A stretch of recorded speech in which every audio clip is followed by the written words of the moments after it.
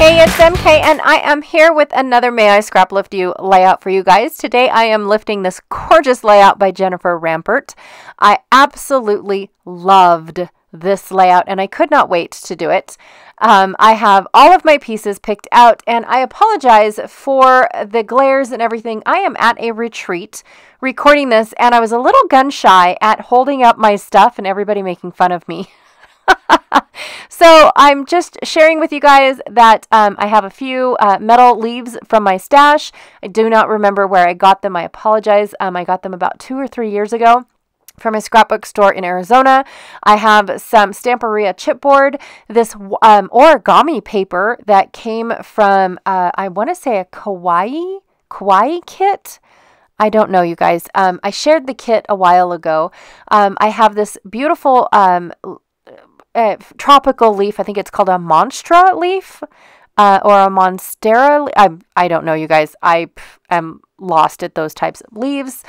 that is from a leaf collection that I came out with a while ago, so I did not use the Paige Evan leaf that um, that Jennifer used. I also have some cut aparts from 13, uh, 13 Arts, and then um, that blue sheet uh, was just to give me a color guide for all of my mixed media that I picked out. And then from these two stamp sets, which are actually stamp and die sets, I used some dies um, and went ahead and cut out the fronds um, and then the leafy bits because I wanted two different sized um, leaves and things.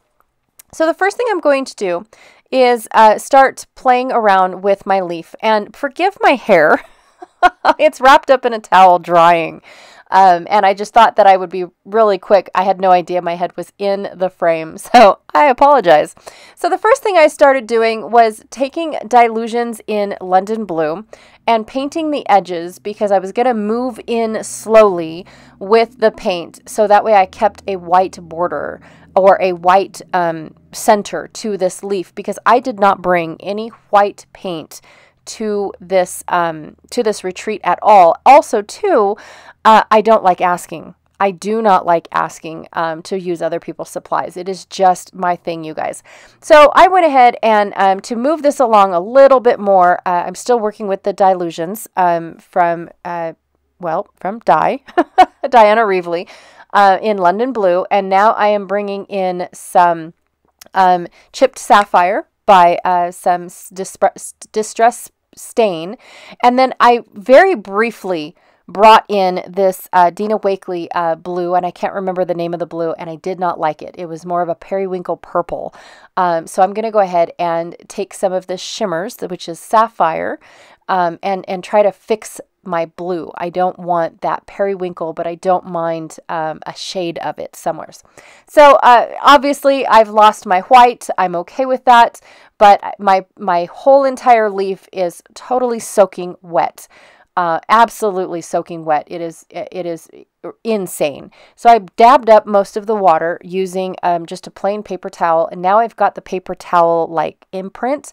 So I'm going to go through, and this is using my shimmers again. I'm darkening up my edges um, and making it kind of shadowed and whatnot. Um, again with the shimmer sapphire.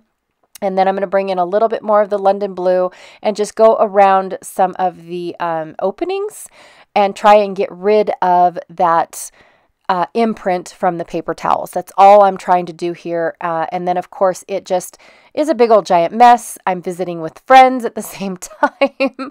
um, just trying to maintain the white in the center, especially up at the top. Um, down at the bottom, you won't really see it because that's where my photo is going to go. So I'm not too worried about that spot there.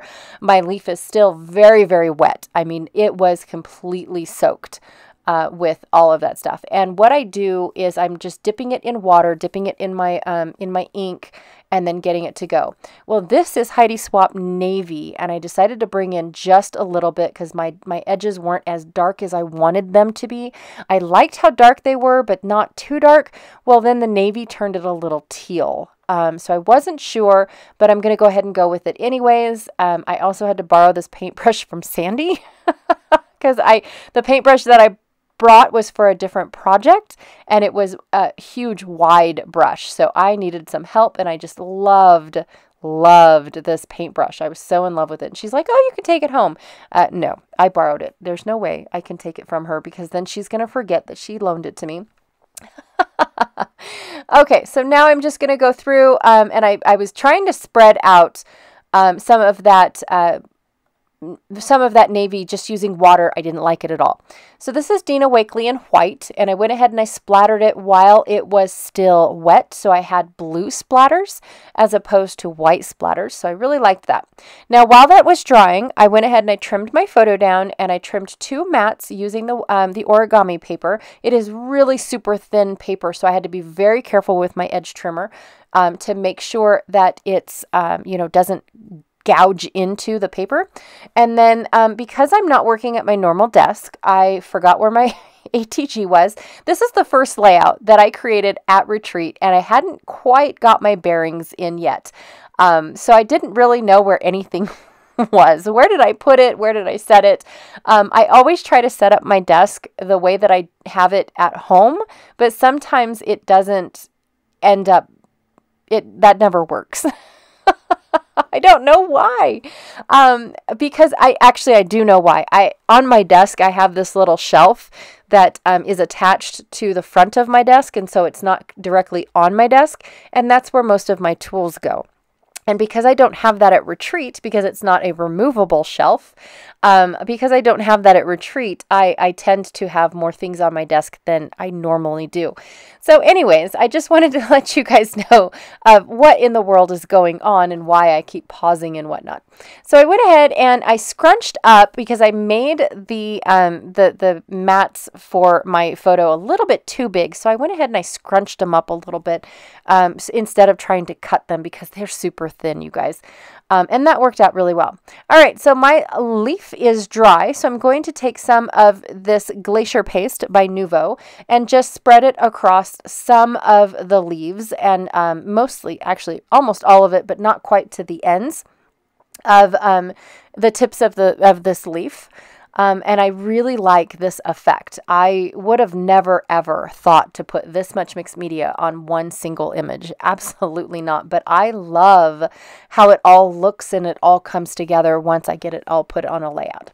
All right, and last thing I'm going to do is add some white splatters. I felt like um, my uh, my polka dots were a little bit too square, and to help them move along, um, I went ahead and I added some splatters. Now, one of the things that Jennifer also did is on her background, she had uh, huge blobs of um, ink drops, and what she did was she took an ink dropper, um, almost like an eyedropper, and picked up the color and then splooshed it on so it made that paint splatter. So I'm just trying to recreate that using what I have um, because I'm like I said I'm not at home so I did not have my um, my ink dropper and of course instead of using pink as my accent color I'm actually using gold because it matched my metallic or my metal leaves a lot better. Um, these ringing things are uh, leftovers that I had from a previous project. And what I did was I glued them together so they were half rings or actually a quarter of a ring. I glued them together to uh, from wood, um, eighth inch wood, so they're rather thick. Uh, I glued them all together, and then once they were dry, I wrapped them in a in a pretty thick um, twine. Um, so they are they are pretty thick, like three eighths of an inch is what I'm gonna have to say uh, that they went to. Maybe, no, maybe not that thick. Now that I'm thinking about it, maybe they're a quarter of an inch. Maybe. Um, but they are quite thick. I have to double up my um, my foam here in order for my picture to lay on top of them. All right, so I am going to go ahead. Oh my gosh, I love this octopi, you guys, from um.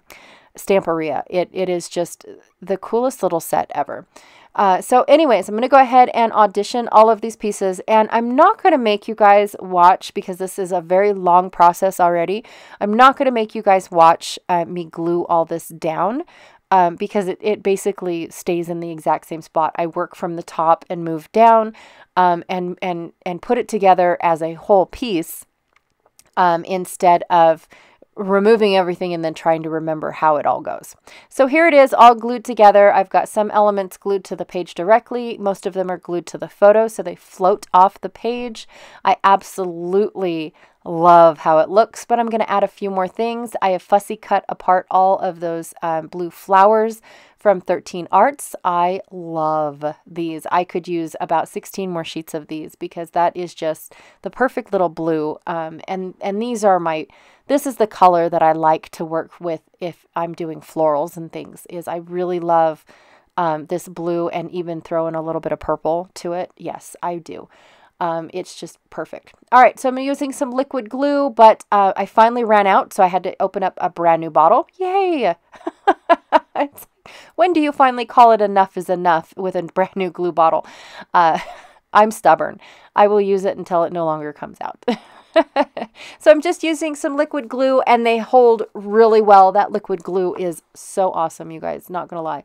And then here's where I'm going to double up all of my pieces for um, my mat, but I I don't really know exactly where to put them. So if I was to take it off and, and put them on um, the on the back side, I don't really know exactly um, where to put them. For some reason, the glue was not working uh, on my photos, so I had to hold it down a little bit longer than normal, um, which is weird. I don't know if it was uh, the, the coating of the photo or whatnot. I do know that some of these photos, especially the overexposed and the darker ones, came from my mother-in-law. And instead of giving me a, um, a, a, chip or a, a flash drive or anything like that, she has them printed and sent to me.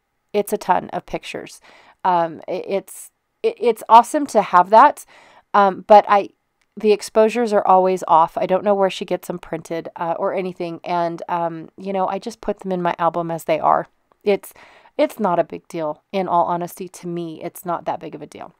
So to finish off this layout, I'm going to go ahead and add a little bit of white splatter as well as a little bit of gold splatter around all of my clusters.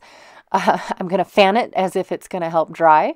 And uh, now I'm going to add the title to this layout. Oh my gosh, you guys, I am in love with how this layout turned out. Um, I mean, it, it doesn't look a thing like Jennifer's, but I really, really am glad that I tackled something like this because normally I would look at that and say, yeah, that's pretty, but there's no way. No way.